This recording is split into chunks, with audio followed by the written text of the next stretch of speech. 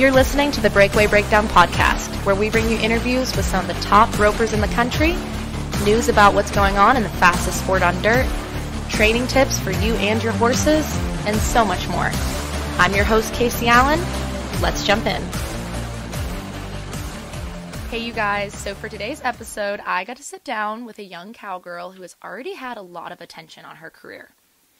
She has multiple titles to her name in the Texas High School Rodeo Association. She won the 2020 Vegas Stars Roping. And more recently, you may have seen her at this little rodeo called the American.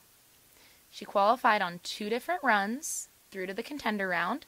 She won the semifinals, and she advanced all the way to AT&T Stadium. She's only 17 years old to top it all off. I'm talking about Kaydence Crawford. And yes, Kaydence is the daughter of Charly and Jackie Crawford. So you can imagine that her life has been a little non conventional up to this point. Kaydence and I talk about how she got to where she is today, what it's like living in the Crawford household, because it can be a little chaotic. And we just talk about things like her practice schedule, how she tunes her horses up, how she tunes herself up, and honestly, her outlook on life at such a young age is truly remarkable. So, we may get a little off topic a few times because I think Kaydence and I both forgot that we were report- recording a podcast a few times throughout the call. Um, we just had way too much fun talking about everything under the sun. So I hope that you guys learn as much and have as much fun as I did recording this podcast while you're listening. Remember that this episode is brought to you by our friends at Equinety, and I cannot wait to tell you more about that supplement at the commercial break. I know you guys are tired of hearing me talk, so let's just jump right in and get to it.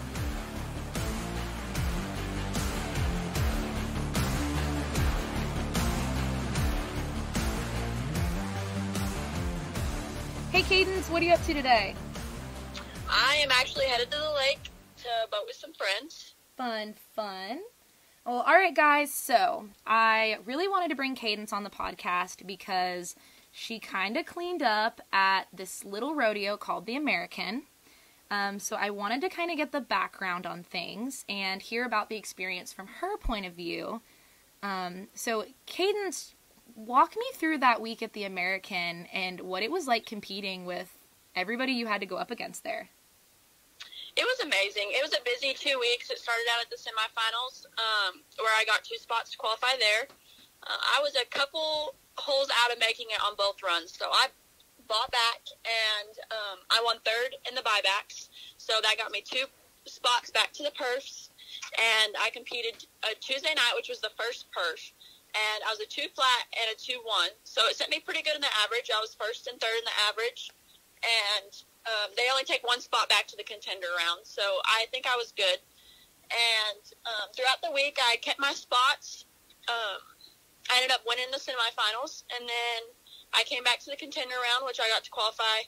Or I get to rope against the top ten in the world, which is Jackie, of course. So that was pretty fun. We had some trash talking going that week, and um, we made it fun. Though it was it was definitely an experience that I'm never going to forget.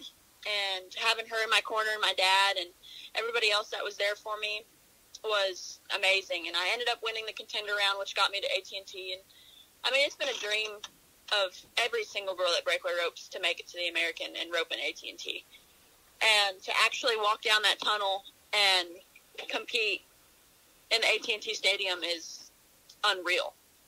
And um, even though it didn't go the way I wanted it to go or planned on it going, it was still an amazing experience, and I got to do it with my family and friends and win some money along the way as well.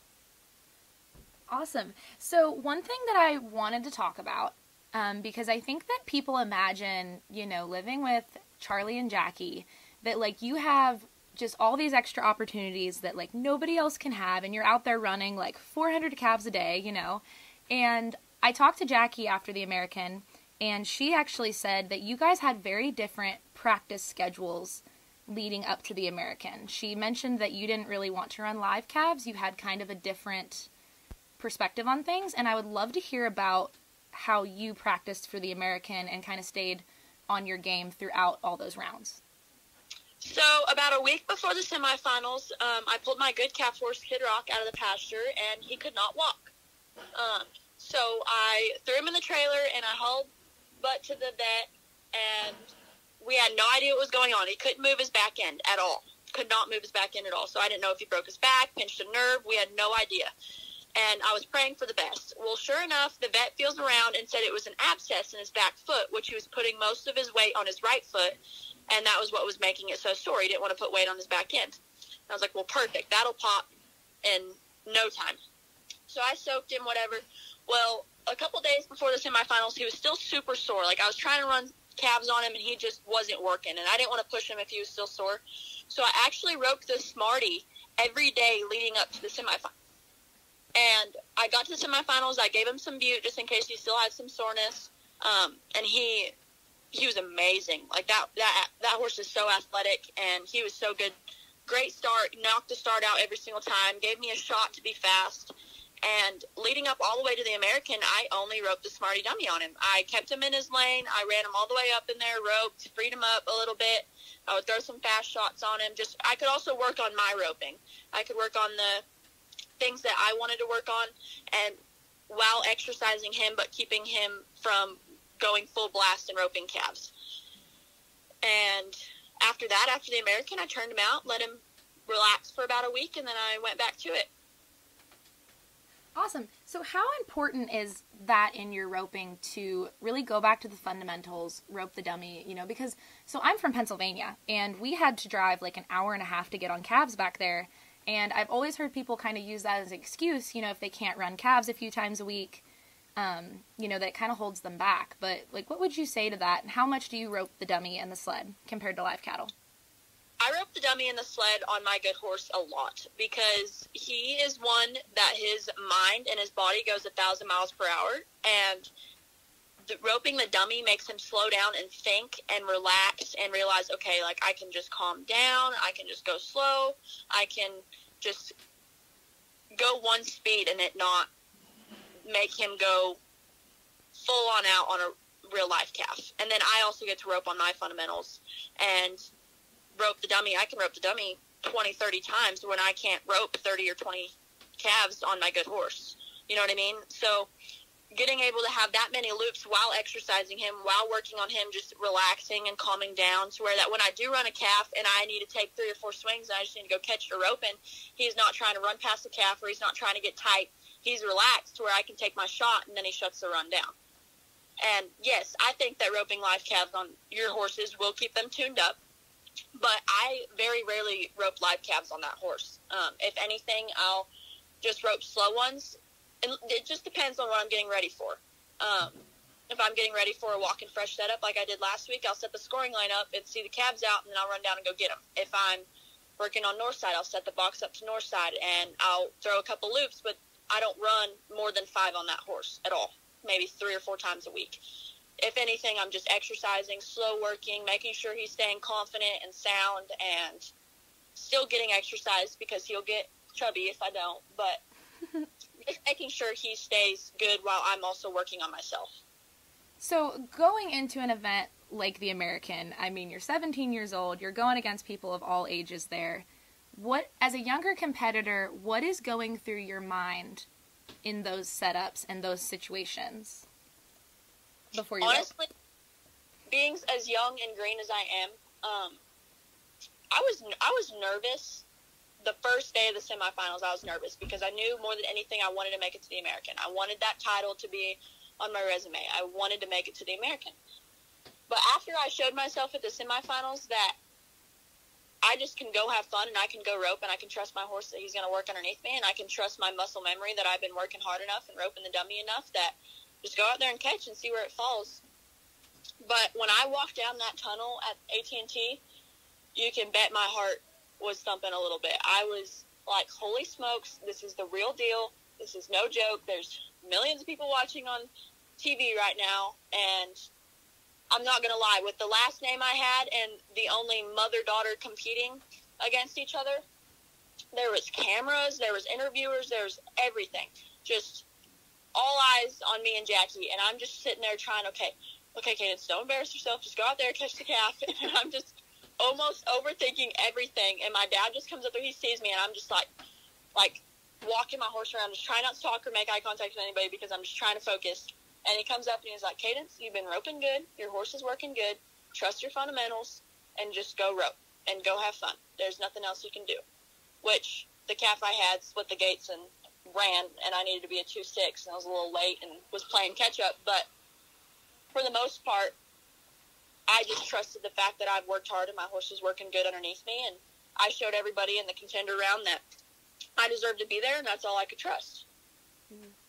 And I mean, you know, having kind of like you mentioned, having the last name that you do, you know, I feel like eh, you guys had so much press during the American and so much going on. And, you know, how have you worked to kind of carve out your own name and not just, you know, hey, I'm Charly and Jackie's daughter? Like, no, I'm Kaydence Crawford. You know, how do you handle that kind of pressure? Well, everybody kind of knows me as um, Charly and Jackie's daughter. They'll come up and be like, "Aren't you Charly and Jackie's daughter?" And I'm like, "Yes, yes, I am." You know, I'm cool too. You know, um, but no, it's good because honestly, without the press that they get, um, it would be so much harder for me to get my name out there. And I already have such an advantage with them being my parents that um, my name's already kind of, out there. Like people already know who I am when I show up places. Like, oh, that's Charly and Jackie's daughter. Which, yes, I would like to be known as, oh, that's Kaydence Crawford. But at the same time, it does come up with very good opportunities. I meet a lot of very nice and very high end people, and I wouldn't get to do that if I didn't have them by my side. For sure. And then one thing I wanted to touch back on, you said about adjusting your boxes for different setups. Um, a lot of people listening probably don't know about your guys' kind of unique boxes at the house. Can you explain that setup? So Tommy Edens does all of our welding work. Um, he set the boxes up to where we have pipe boxes. Um, you can set them up to any single um, box in the world if you wanted to. You can move the back end where it's 16 foot long or 13 foot long. You can move the side where it's 10 foot wide or it's 12 foot wide. You can move it from any size. You can rope it.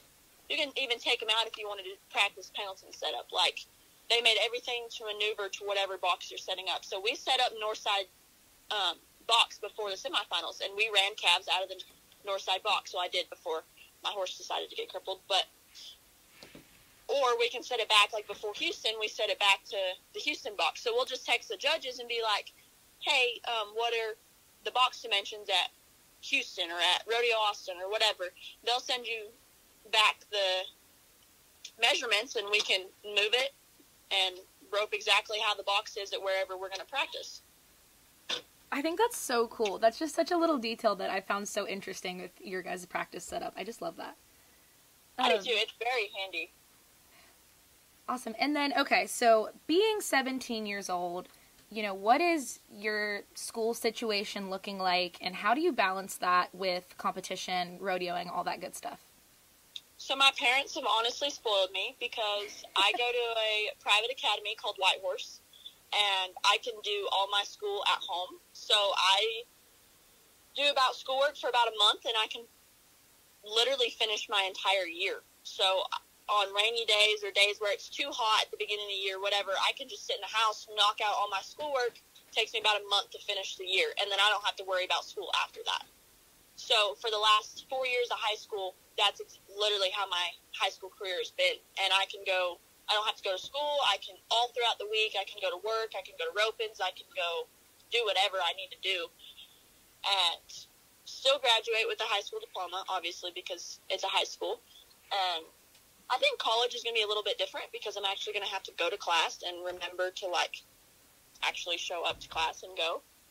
But um, for the most part, having that access of not having to go to school to where I can just rope all day if I wanted to um, has been very handy. That's awesome, though. And I mean, you're still willing to put in the work, you just have it on a different schedule. I think that's really unique. Yes, ma'am. Cool, cool. So, you know, what would you say to other younger competitors that, you know, are trying to balance school, trying to balance rodeo, work, different things? You know, how do you kind of keep focus with all the distractions that you have to deal with at jackpots and rodeos and things like that? Because it's not easy for uh, younger competitors in high school and college to focus on the job at hand all the time. yes, definitely a younger mind um, struggles. I've always struggled with my mental game. When it comes down to it, just remembering to stay strong and remembering to trust your hard work and your practice sessions. But the more I went, the more I kept going, the more confident I was getting to where I was like, wow, I can compete against Jackie and JJ and Larry D and Shelby and all these veterans because I'm just as talented as them. I just have to remember that. So even when it comes down to it and you're juggling school or you're juggling work, always put the time in. Even though if you come back from work and it's 10 o'clock at night, rope the dummy 15, 30 times just so you got your opening for that day. And then if you don't work till 10 o'clock, wake up in the morning, rope calves. Whatever it is that you can do to squeeze it in. And not saying that you have to rope every single day, all day long to be the greatest in the world. There's a lot of things that Jackie has going on in the day. If it's interviews, if it's photo shoots, if it's lessons, if it's people just showing up to come and rope, or if there's just people showing up at the house, she juggles 50,000 things a day, but still makes time for a roping. I wake up and I get my stuff done. I go to work. I come home. I practice. I kind of just do my own thing throughout the day. But then we can go to ropings together. It's like, all right, this is our job. This is what we do for a living. This is how we make our money. So no distractions. This is game time, pretty much. Awesome. So you kind of separate things. Separate the, the chaos from work. That's awesome. Awesome. So tell me about Kid Rock because there's an interesting story there, if I'm not mistaken. Yes, there is. So Kid Rock, um, he, we bought him from Wyatt Imus. My parents did for actually my sister Cheyenne Britton, and uh, I owned her horse Pecos that we bought from Tiva Smith. And Pecos is a little bit older, and um, he, I was just kind of saving him. He's a great, he's a great horse, but he's a very push style horse. He's not like you throw, he's going to say, "Whoa, I'm stopping." He's not like, "Okay, I'm going to stay free." My sister rides very aggressive, so Pecos almost fit her style. Where as I want to use my rope and not have to kick and push the whole time, where Kid Rock fit me. But we were, I was doing good. She was doing good on Kid Rock. I was doing good on Pecos. Well, one day my dad goes, "Hey." girls, why don't y'all switch horses for the day and just practice on these horses and see? Because I was struggling with keeping Pecos free, and she was struggling keeping Pecos like to or Kid Rock to stop. So we were just like, well, let's just switch our styles, you know. And it was great. She got along with Pecos amazing. I got along with Kid Rock. I hauled him all summer. He got used to me, and when we clicked, we clicked, and now we have been inseparable since. He makes sure that I'm confident he's never going to short me. He's never going to do anything wrong. He's going to always stay in my hand. He's going to run up to the calf, and he's going to stop when I tell him to stop. If I don't want him to stop, he'll keep going. If I want him, like he always listens to my hand, and he makes sure that I don't have to worry about him. I can just go out and worry about my roping. He's incredibly special. Awesome. And so another thing I think is interesting is I think a lot of people assume that you were just born with a rope in your hand, like you just came out roping, you know, because you're Charly's Charly's daughter. Um, but you said you just started roping six or seven years ago. Yes, ma'am. So I lived in Oregon, and I played sports. I like did a little bit of Wee rodeo, and like I had an Appaloosa pony that was kind of crazy.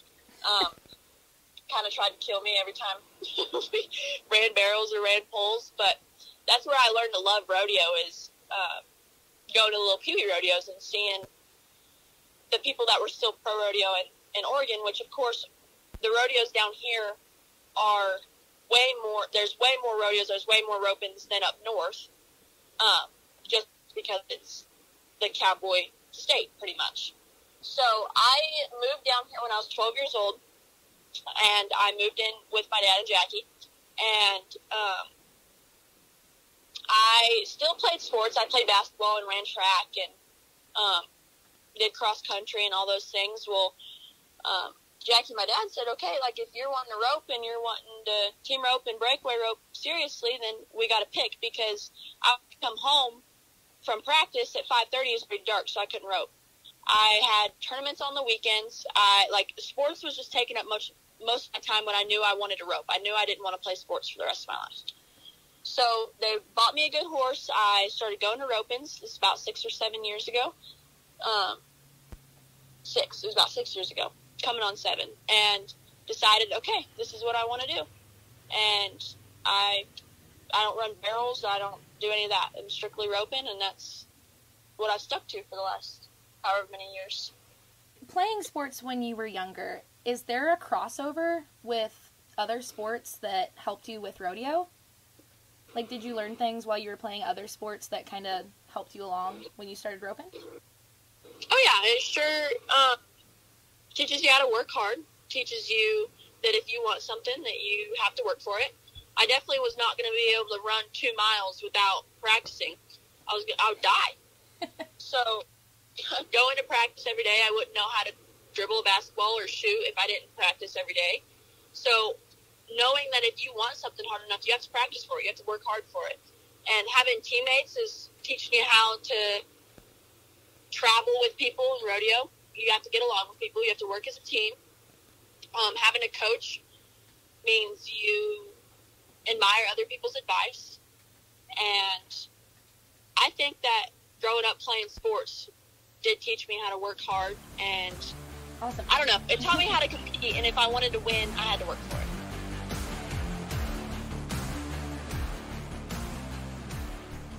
Hey guys, so this episode is brought to you by the great folks over at Equinety. Equinety is one of my favorite companies, and I use the products for my breakaway horses. Uh, Equinety Horse XL is 100% pure amino acid supplement. There's nothing added that your horse doesn't need. It can help improve their muscles. It can help them recover faster after workouts. It helps improve collagen so your horse can have healthier coat and bones. And it maximizes your performance because it helps cells regenerate at a faster rate. That means fast recovery for those fast twitch muscles that you need to explode out of the box and stop hard at the end of a run. They also have Equinety Ultimate OEC, and I love this supplement. I didn't think Equinety could get any better until I started using it. It has flaxseed based omega 3 oil, natural vitamin E, and colloidal silver. It can help support your horse's cardiovascular health, their joint health, gastric health, and it increases their immune support. So if you're traveling up and down the road a lot, that's something that's super important for your horse. Visit teamequinety.com to learn more about these supplements and see how you can get some for yourself.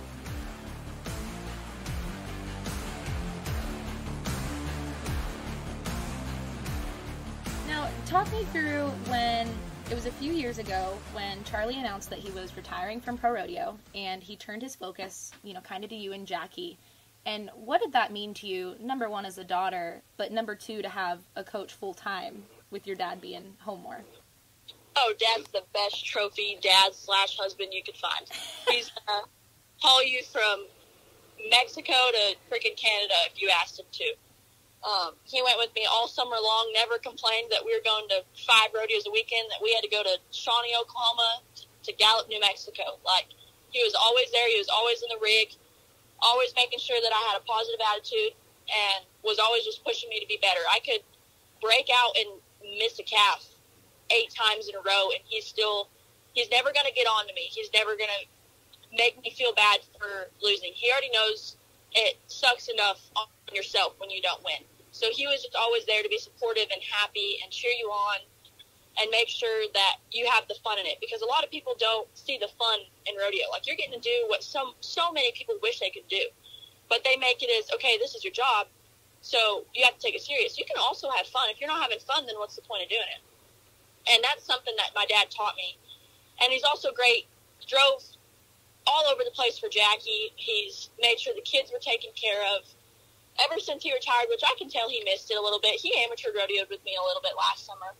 And getting to go to the BFI this year and Rodeo Houston and entered some small pro rodeos. And you can tell he was missing it, but he also loves the joy on my face when I do good or when Jackie does good. And he's also there for that aspect of things. He loves being supportive and making sure that we can follow our dreams because he did it for 30 years. So it's our time to shine now. And he just loves being there for all of it. That's so fun. And then on the flip side, I know it's not always easy having your parents as coaches, but how do you guys kind of keep all your relationships, you know, doing well in the practice pen, I guess? And how do you deal with having your parents as coaches also? Well, being a teenager, you're never going to listen to your parents. You're always going to think they're wrong and that you know more than they do. and so having them as my parents, I have to realize, okay, yeah, they do know more than I do. But Jackie will tell me something a hundred times over, and until I actually figure it out and think I came up with it myself, then I'll admit she's right. But I had to come up with it for myself first, and then she'll be like, "Huh, that's funny. I think I told you that a hundred times before." And Dad's the same way. Which when Dad and I practice, we get. He keeps it very fun. He keeps it very enlightening, and so does Jackie. But Jackie's also juggling people calling her and riding eight horses a day. First road, she'll be like, "Hey, keep your tip up on this one, and we'll just go rope. When Dad and I rope on the team roping side, on the team roping arena, he makes it fun. Like we can ride colts together. We can because he's not juggling the chaos that Jackie's ju- juggling. So when Jackie's like not has eight thousand things going on, we'll listen to music. We'll make it fun. We'll just do anything to make us laugh. And they're they're paid to be coaches. So when I finally am like, okay, like let's rope today, they make it about me. My dad will be like, all right, this is Kaydence's time. I'll come and push the calves. He'll get in the chute and push calves just so that I feel the realistic go at a rodeo. Or Jackie will be behind me filming, or Jackie will be writing calves down or timing me or something that gets me ready for it. But they've already been through all of the, they're already seasoned. So they know exactly how to help me without going through all the hardships. They can just be like, all right, here's what you need to do, and this is how we're going to accomplish it and then they make sure I get there. That's awesome. So, I mean, you've said a few times, you know, the the chaos around the Crawford household. How do you guys kind of balance everything? I mean, you guys do so much and have so many different directions with all the kids and all the business and the horses. How do you guys like balance that? we don't balance it. There's no balance. There's no there's no nothing. It's pure chaos all the time, 24/7 but we make we make do. Um, my grandma's actually here right now, so she can help us out with the kids because Jackie's fixing to leave for California, and Dad's giving lessons every day, and I kind of just do my own thing. I rope and ride horses and go to work and help them when they need help. They help me when I need help. But when I tell you there's probably 20 different rigs pulling out of that house every single day with people we don't even know showing up, or Jackie's getting 5,000 phone calls, or my dad has to go to a meeting in Dallas, or I have to go take a horse to the vet or watch the kids. Like most families, like you know, kind of like plan their day out, be like, all right, this is what we're gonna. No, we we we can't do that because that plan is gonna get changed about five thousand times before our day's over. Yeah, what is uh, Jackie up to? Like 600 un- unanswered text messages? Oh my goodness. she has three different emails, and I'm pretty sure there's like 8,000 notifications on every one of those emails her texts are insane. Her voicemails and calls, like we went to Louisiana together, and she was probably on the phone most of the time. And I'm like, who are you? Who are you talking to? Like, you need to get an agent, just where they can answer all these phone calls, and you can just like not have to do this because she'll put her phone in her bra and rope while she's on the phone with somebody. and I'm like, Jacqueline, that is ins- like that's insane, but that's what she has to do. There's so many people that call her in a day that if she didn't do that, she wouldn't get back to any of them. Yeah, you'd think with those American winnings, she could like get a set of AirPods or something, headphones. She loses them. She can't even keep her head on her shoulders. Nonetheless, two little AirPods. Oh my goodness! So you guys just kind of hit the ground running and hope for the best. Oh yeah, we hope to not fall or break something in the mix. Oh, that's awesome. Um, okay, so looking forward, I mean, what are your plans? You talked about college a little bit. Do you have a school picked out? You know, what are your? Are you going to rope full time? What's what's going on with your future? So I signed to rodeo for Ranger College. Um, and this fall, I'm going to go for two years, and then I'm going to transfer to Tarleton State University and get a degree in business and marketing. And I plan on to pro rodeo the second I turn 18. And go out and try to make finals as many times as I can, but still getting a degree and still focusing on my academics side of things and making sure that I always have something to fall back on because you can't just think that you're going to rodeo for the rest of your life and that's you're going to be fine.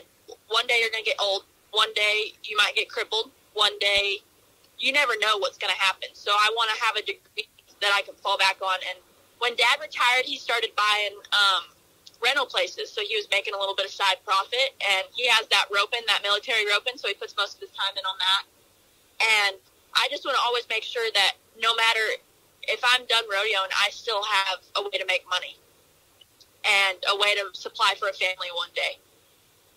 So I don't want to just surround my life around pro rodeoing for the rest of my life because reality hits, you're not going to be able to do that for the rest of your life. Yeah, and I mean, how cool is it now that you, as a breakaway roper, you can actually plan to have a career for at least a you know a period of time in the breakaway roping, and you've got to see it firsthand, kind of what's going on with the sport with Jackie as one of the front runners. I mean, oh, just oh, yeah. speak to that a little bit.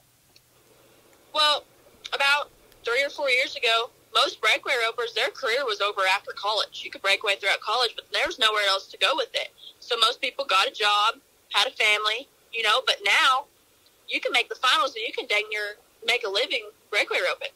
Like, I was looking at the books with Cheyenne the other day, and almost half of all the pro rodeos, if not more, have added breakaway roping this year. Like, they're seeing that this is one of the fastest growing events in rodeo, and everybody wants to jump on top of it. And when you can win, heck, I had a chance to win $2.1 million just with a rope. Not very many 17 year olds could say they had a chance to win $2.1 million. And you can go to Rodeo Houston, win 50000 You can win the American, if you're in the top 10 in the world, and win 100000 Like, there's just so many opportunities for such good money that our, us breakaway ropers never thought that was going to be a thing which I'm very glad and I'm very thankful for Jackie and Larry D and JJ and everybody that was involved, all the rodeo communities that saw a future in breakaway roping to where now us younger girls, Maddie, Josie, me, Aspen Miller, everybody can see that there's a future in this, that we can make a living with a rope, just like the guys can. That's awesome. So, okay, I want to break down some technical things because this is the breakaway breakdown. And as much fun as we're having, we got to talk about the technical stuff. Um, so tell me, what are some things in your roping right now that you're working on specifically? Um, like the actual fundamentals of like exactly what I'm working on. Oh yeah, I want to get into okay. it. um, I've always struggled with dropping my elbow when I deliver, which makes the rope come back up, and I either top knot a lot of calves or I rope them very deep. So what Jackie and I have been working on for a while now which um, comes like here and there. Like some days I won't do it, some days I'll revert back to my old habits. But staying with your swing and coming just straight out of it, straight to the deck, not dropping down, not making any extra movements, just coming straight up from your swing, straight to your delivery. And that makes me, I have such long arms and I'm so tall that I have such a long range but I was almost cutting it off by dropping my elbow or doing so many extra moves with my arm instead of just coming straight out of my swing and straight to the calf neck. So we worked on that a little bit. Um, I've worked on staying in the front of my saddle and not getting thrown back or sitting down too soon and cutting off my delivery and completely riding my horse up underneath me to where when I pull my slack, he knows, okay, when I pull my slack and I'm dramatic with it, that means to stop. Not stopping when I'm throwing, not stopping anytime. He knows to stop when I drag that slack back. And staying aggressive with my swing, making sure I have power on my swing at all times. Having to breakaway rope and heading, there's so many similar there's so many similar things to it, but there's so many different things to it. So like when I go when I'm breakaway roping and I go back to heading, I'll almost drop a coil when I don't need to. Or when I am heading for a couple weeks and I go back to breakaway roping, I flatten my swing out and I drop my elbow. So, like, learning to defer both of those events has been something that me and my dad have been working on. Um, we'll set up a, he come up with this fun little game where the calf roping dummy is headed like north or whatever, and the team roping dummy is like headed south. So we'll race, me and him will race, which I've yet to beat him on the racing part of it, but We'll rope the calf dummy five times as fast as you can, as fast as you can. Turn around, run to the team rope and dummy, grab the team rope, rope the team rope and dummy five times as fast as you can. If we tie, it's timed. If he misses the calf rope and dummy and I caught all of them, then I win. So that's a little bit of like I can work on my calf roping, but then I can also switch it up in a second and work on my team roping. So we worked on that a little bit. So that's pretty fun. And then, is there anything else with your horses that you've been working on, um, or your riding, keeping them tuned up? Um, my head horse is out right now, Sailor, which is the um, horse my dad for and took the final took to the finals. Um, he's crippled right now, so I haven't been getting ahead on him much. But my dad's been letting me on some of his futurity horses that he rides um, at the rope horse futurity. And I have I just bought a new four year old. That's going to be he's a little guy, so he's going to be a breakaway prospect. And then I got Kid Rock, and I can jump on a couple practice horses if I need to, but making sure that my good ones always stay good and I'm not overusing them to where they get sore, they don't like their job, has always been something that my parents have taught me since the beginning. Jackie will never run more than four, five or six on her good ones, ever. Never. And I won't do that on Kid Rock or Sailor. If I need practice, I'll get on a practice horse and run about eight or nine and just get throws. But then you can also go back to the dummy and work on yourself instead of using your horsepower and wasting all the things that you need to work on with your horses. So you can keep them wanting to work and keep them sound and having try. Because if you rope 15 or 20 steers on a head horse, they're eventually not going to want to work for you anymore. They're like, no, heck with this. but I want to keep them to where they love their job and they want to keep working so that I know that, like, I mean, they're your teammate. They're, they're the athlete that's underneath you. So when you want them to do their job so that you can do your job, they like, you know what I mean? Yeah. So there's two things that I kind of like to ask everybody on here. Number one, what is the best piece of roping advice you have ever been given? That you can always dream, but you can never dream too big. If there's a will, there's a way. And Jackie's always preached on that. If you want to do something, there's always a way. So never think that your dreams are too small or you can't rope against the veterans or you're never going to be good enough. They started from somewhere. They came to the top. They had people help them. You can't ever be stubborn enough to where you think you can't need help. You can do this on your own. They had somebody helping them, and you need to do the same. So if you have big dreams and say you want to make the NFR one day, don't cut yourself off. You want to do it, you can go do it.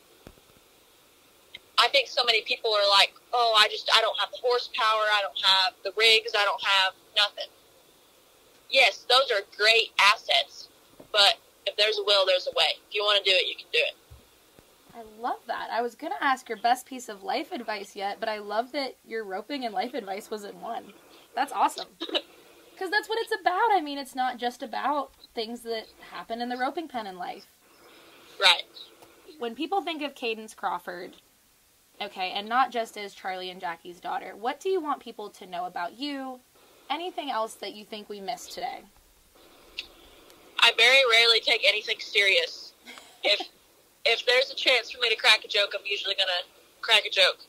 Um, I like to. I don't know. I always like to make things fun. There's no point in life being so serious and being so just bland. Like, if you have a way of making life fun, I'm gonna try to do it which I'm not saying I might wake up on the wrong side of the bed one day and be grumpy, which my dad and Jackie can both attest on that. But um, I'm always going to make a joke of some sort. I'm always going to make things funny. Awesome. I love that. Well, all right, Kaydence. I had a lot of fun today. I hope I didn't grill you yeah, with too many questions. no, you're good. I'm just driving. Okay, I have one last question, Kaydence. And is there anything that you would tell your 10 year old self right now if you could? My 10 year old self would honestly be so proud of the opportunities that I've taken and the amount that I believe in myself now. Because at 10 year old, 10 years old, I never thought that I would be living in Texas and I would be an American qualifier and I would have these interviews. And when you're 10, I mean, yeah, we, we believe we can touch the sky, but you actually have to go out and do it. You have to believe in yourself. You can't think, oh, that's just too big. I, I just, I don't think I can do it. If you believe that you can do it, you're going to find a way. Awesome. Well, all right, Kaydence, thanks so much for talking to me today. Yeah, um, thanks for having me. Awesome, and I hope you enjoy the rest of your day. And Oh yeah, it's finally a Sunday relaxing. We went to Louisiana and been driving and no sleep for the last three days. So it's 93 degrees today. It's a nice day to go out in the boat. heck yeah, it's gonna be awesome. And you know the wildfires have dodged you guys, so that's been good so far. Oh yeah, we were extremely lucky with that. Um, well, all right, Kaydence, you enjoy the rest of your day, and Yes, thanks so much for chatting with me today. Yeah, thanks for having me.